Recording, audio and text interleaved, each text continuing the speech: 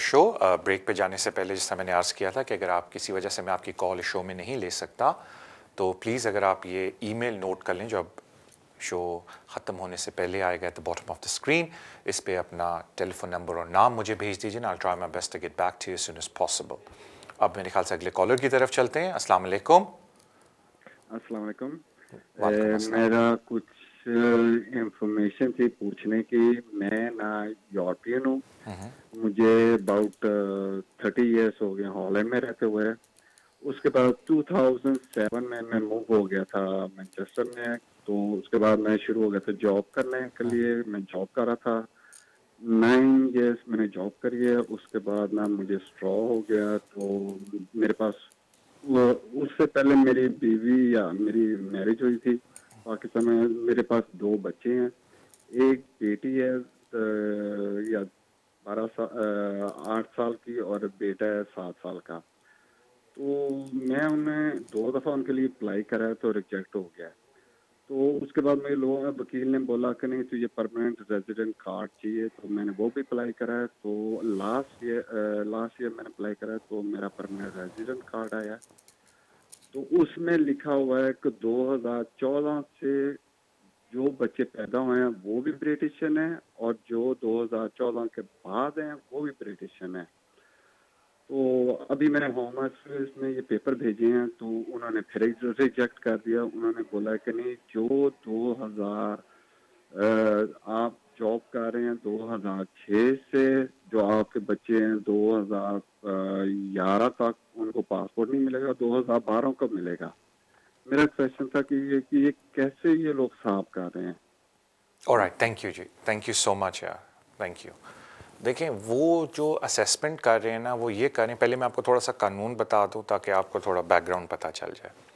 اس ملک میں یہ قانون ہے کہ اگر آپ کا بچہ اس ملک میں پیدا ہوا ہے اور بعد میں آپ کو انڈیفینٹ ملا ہے تو جی جو بچہ ہے وہ اپلائی کر سکتا ہے رجسٹریشن کے لیے۔ جو وہ آپ کے کیس کے بارے میں کہہ رہے ہیں کہ ان کو وہ فائیو ایئر کا پیریڈ نہیں مل رہا ہے۔ میں ازیوم کر رہا ہوں، میں نے پورے کاغذات نہیں پڑھے، میں صرف آپ کو بتانے کی کوشش کر رہا ہوں۔ اس کو ایڈوائس نہ سمجھے گا انفارمیشن ہے۔ مے بی وہ یہ بول رہے ہیں کہ جو آپ کا ایک اسٹریچ ہے پانچ سال کا، وہ ان کو نہیں مل رہا اس پیریڈ کے دوران۔ تو وہ ڈیمڈ سیٹلمنٹ آپ کو نہیں دے رہے بیکاز وہ یہ کہتے ہیں کہ جب آپ کا بچہ پیدا ہوا ہو، پانچ سال تک آپ نے کام کیا ہے، تو ایٹ برتھ وہ بچہ برٹش ہے۔ شاید وہ یہ چیز کہنے کی آپ کو کوشش کر رہے ہیں۔ تو مجھے یہ نہیں پتا کہ آپ ان کو یہ کہہ رہے ہیں کہ جی بائی برتھ بچہ برٹش ہے یا آپ یہ کہنے کی کوشش کریں کہ جی بچے کو برٹش رجسٹر کر دیں۔ بیکاز دونوں میں تھوڑا فرق ہوتا ہے۔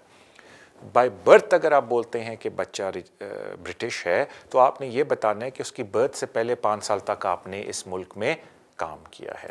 تو اگر وہ بات ہے آپ کے لیے جو آپ کے یورپین لاء کے اندر، تو بچہ اگر ادھر پیدا ہوا اور آپ نے یہ پروف کیا کہ جی پہلے پانچ سال اس کی پیدائش سے پہلے آپ نے یہاں کام کیا ہے، تو پھر آپ کہہ سکتے ہیں ان کو کہ جی بچہ بائی برتھ برٹش ہے۔ تو پھر اس صورت میں آپ کو بچے کو رجسٹر کرنے کی ضرورت نہیں، آپ ان سے سیدھا سیدھا پاسپورٹ مانگ سکتے ہیں۔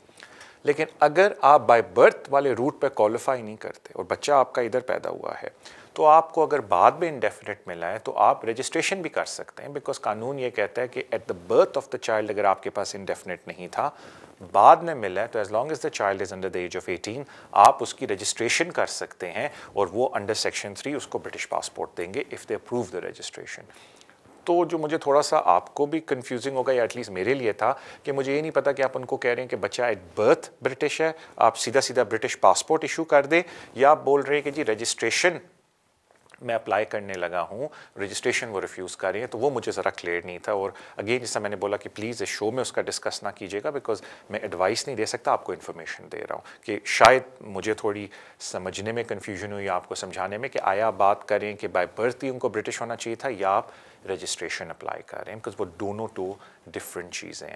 تو جس طریقے سے آپ نے مجھے سمجھایا تھا، مجھے یہ شک پڑتا ہے کہ آپ بول رہے ہیں کہ بائی برتھ وہ برٹش تھے۔ تو اس صورت میں پھر وہ یہ بولنا چاہتے ہیں کہ برتھ سے پہلے پانچ سال آپ نے کام کیا ہو۔ اور اگر آپ بول رہے ہیں رجسٹریشن تو پھر آپ کی بات مجھے سمجھ نہیں آتی اٹ ڈز ناٹ میٹر کہ آپ نے کام کب کیا۔ اگر آپ کے پاس انڈیفینٹ ہے تو بچوں کو برٹش سٹیزن شپ رجسٹریشن ملنی چاہیے آن دا بیسس کہ وہ یہاں پیدا ہوئے ہیں۔ تو مے بی یہ تھوڑی کنفیوژن تھی بٹ انفارمیشن میں نے آپ کو دی۔ پلیز کسی کمپٹنٹ پرسن کے پاس جائیں اپنا کیس دکھائیں and then take it forward from there thank you so much آپ کی کال کا۔ اگلے کالر کی طرف چلتے ہیں۔ ہیلو السلام علیکم۔ وعلیکم السلام۔ I don't speak very good in, uh, Urdu. If I can, you can ask me in English, and I'll try my best to answer you in English. Jazakallah, thanks. Uh, I've got a friend of mine in uh, Pakistan mm-hmm. who, who's been here before with his mom and dad. Who, his dad had an operation here uh, and he passed away here. But then they went back again uh, uh, before their time. Now, he applied uh, to come and visit us, and he was uh, refused uh, because the tax return they, they said doesn't tally with whatever is coming through the bank. Yeah. Now he wants to. my son's getting married, so he wants to come over, and I don't know how he can apply that there again. All right. Okay. Uh, thank you so much for your question. Now, I have seen numerous reasons for refusal. And some of the key reasons for refusals are that people declare a certain income on their application, and once the Home Office assesses their bank statements, the income do not match. So one thing I say to all applicants from Pakistan, especially the visitors, it's very important to have a look at your six months bank statement. Forget the Home Office for a second. Have a look at your six months bank statement and then see that any normal person, forget the Home Office, looking in your bank statement, would they believe you are living within your means or not? So you have to prove that financially you're sound and able. So if your six months bank statements do not give that picture, you need to give an explanation. The explanation could be in a form of profit and loss account or cash flow, that this is my monthly expense, my living cost expense. Compare that with how much income is coming into your bank account. Now, if you're on a salary employment, it has to be a fixed amount coming into your bank, same as somebody who's salaried in United Kingdom. The Home Office does not believe in random salary coming in. So if you are collecting random salary in your home country, you have to give an explanation why the random salary is coming that way. If you are self-employed and the income is coming in in a very irregular manner, you have to give an explanation why the income is coming that way. In other words, what I say to a lot of the people who ask me this question, have a look at your six months bank statement and prove and give an explanation of every transaction. Compare that explanation to your profit and loss for a month. So the profit and loss you give for a month should make sense from your bank account. If it's not making sense, that means that there is some there are some cash transactions. Now, where are you earning that money in cash? You have to prove that and you have to give an explanation. Only when you've given a complete picture to the Home Office, then they may decide or make a decision on the basis that no, this seems like you're a genuine visitor and you will come back. Another thing which is very important, I say to all the applicants of making a visit visa application, that within the application you should put pictures of your home, you should put pictures of your car, your servants, if you have, uh, put pictures, I, I, I, meant to say maids and servants because people coming from Bangladesh, India, Pakistan, they tend to have servants and maids in their home. So just to give a picture to the Home Office that how well off you are in your home country. If you're married, your children go to private school, give all that information to the Home Office because you're paying private tuition fee, which is a lot of money in these countries. And if you're taking medical care, you pay privately for it, give some evidence of that from your doctor that all your bills are privately paid. To give a complete picture to the home office that you're financially quite well off in your home country. And there's no reason for you to come here and seek asylum or seek some sort of a irregular stay in this country. The purpose is a genuine visit and you will go back. So the more clearer picture you can draw of your financial circumstances the better. A lot of people i've seen in these applications they provide six months bank statement, and trust me when I look at them, they make no sense. You have to make sense out of your transactions and you have to give an explanation of each and every transaction. That's the only way moving forward. And if they refuse, then, then of course you have the remedy of challenging that decision in court in the United Kingdom. Uh, you instruct a lawyer and they'll go to court here and try to fight your case on the basis that the visa should have been granted to you. Thank you so much for your call. Agle caller ki taraf chalte hain. Hello. Hello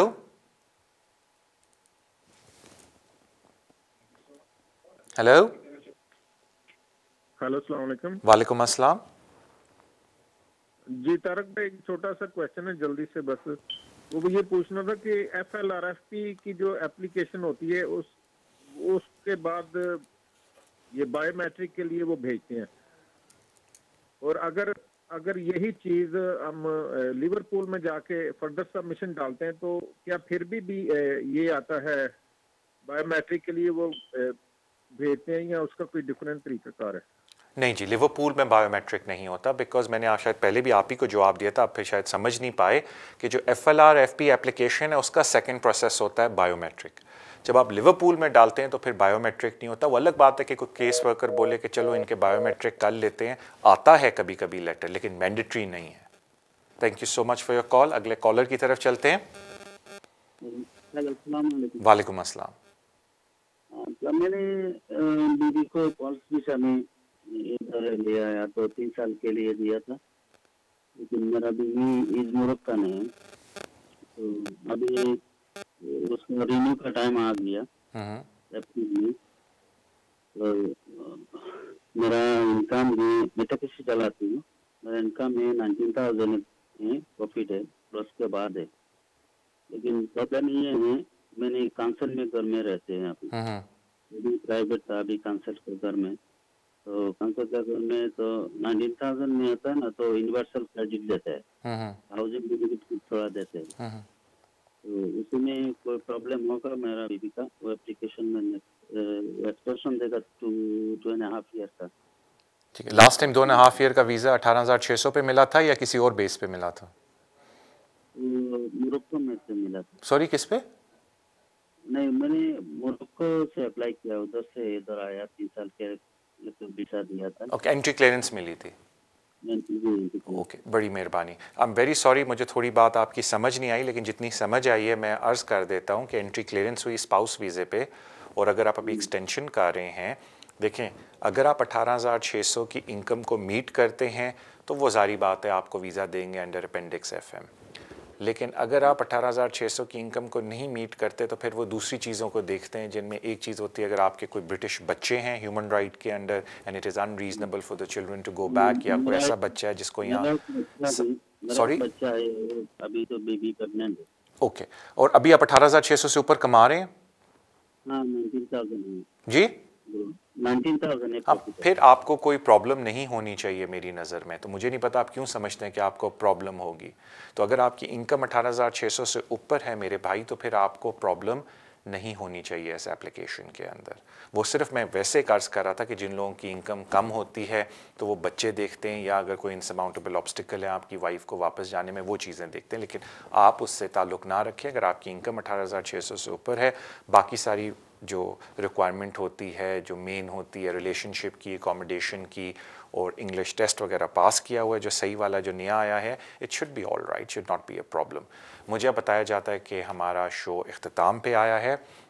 couple of announcements important پہلی بات یہ ہے کہ please اگر کسی وجہ سے میں آپ کی کال اس شو میں نہیں لے سکا آئی ڈو اپالوجائز آپ اس ای میل کے اوپر مجھے اپنا نام اور ٹیلی فون نمبر بھیج دیں۔ Try my best get back to you soon as possible اس کے علاوہ اگر آپ اس شو کو بعد میں بھی دیکھنا چاہتے ہیں تو آپ فیس بک یوٹیوب پہ شو کو دیکھ سکتے ہیں۔ امیگریشن وتھ تارک لکھیں تو شو آ جاتا ہے۔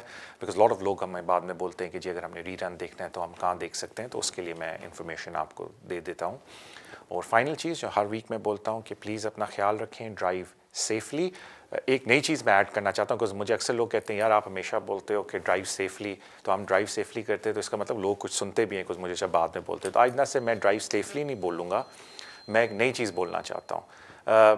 ایسی لیٹ سی اگر آپ میں سے کوئی کرتا ہے کہ کم از کم ٹرائی کیا کریں ویک میں ایک دفعہ کسی اسٹرینجر کے لیے کوئی ایک اچھی بات کر لیں۔ اچھا فیل ہوگا آپ کو۔ سو wish you all the best آپ سے اگلے ویک ملاقات ہوتی ہے۔ اللہ حافظ۔